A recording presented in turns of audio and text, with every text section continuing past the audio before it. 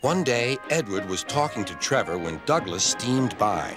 He was pulling a train of heavy coal cars. Come on, Edward. Stop gossiping in the sun when there is work to be done. Later, Edward spoke to Douglas. Trevor and I are old friends, and you and he have a lot in common, too. We do? quizzed Douglas. And what would that be? Scrap, said Edward quietly. Douglas gasped. Don't mention that word. It makes me wheels wobble. It does the same to Trevor, replied Edward. He was being sent to the scrapyard, but the vicar and I saved him, and now he's really useful again. Even so, Sir Topham Hatt certainly does need another steam engine here. Aye, he does, and quickly. That night, Douglas was still working. He had taken the midnight goods train to a station at a faraway part of the island where only the diesels work.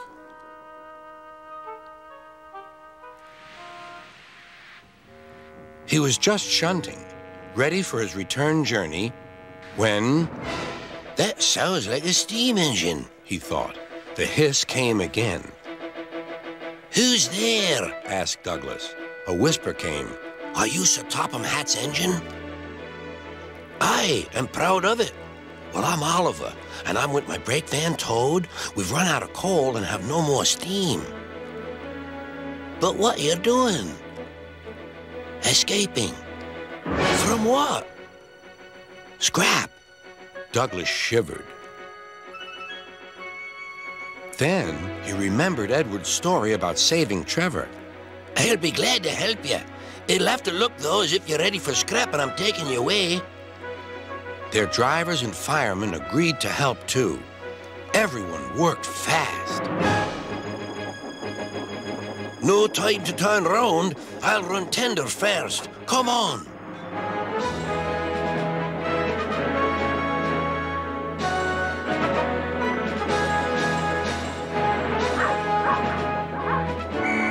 But before they could clear the station, they were stopped. Aha, called a foreman. A Great Western engine and a brake van, too. You can't take these. Aye, but they're all for us, said Douglas's driver. See for yourself. The foreman looked all over Oliver. Seems in order. Right away, guard.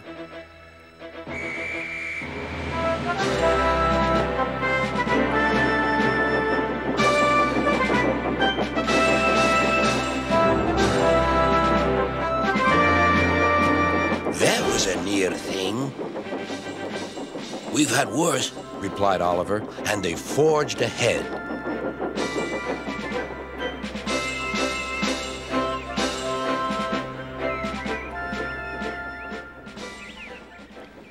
It was daylight when their journey ended.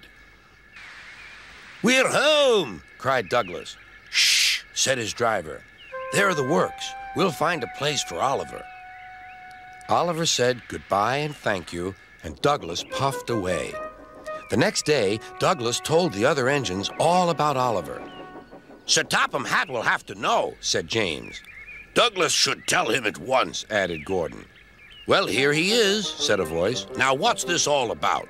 Beg pardon, sir, but we do need another engine. Yes, sir, ventured Gordon. A steam engine, sir. Well, unless one is saved from scrap, there's little hope. But, sir, one has. Yes, indeed. And thanks to you, Douglas, he is now at our works. Oliver is just what we need for Duck's branch line. Everyone cheered. Now, Oliver and Toad are mended and painted in full Great Western colors. Duck and Oliver are happy on their branch line. The others laughed at first and called it the Little Western. Duck and Oliver were delighted, and so the Little Western it will always be.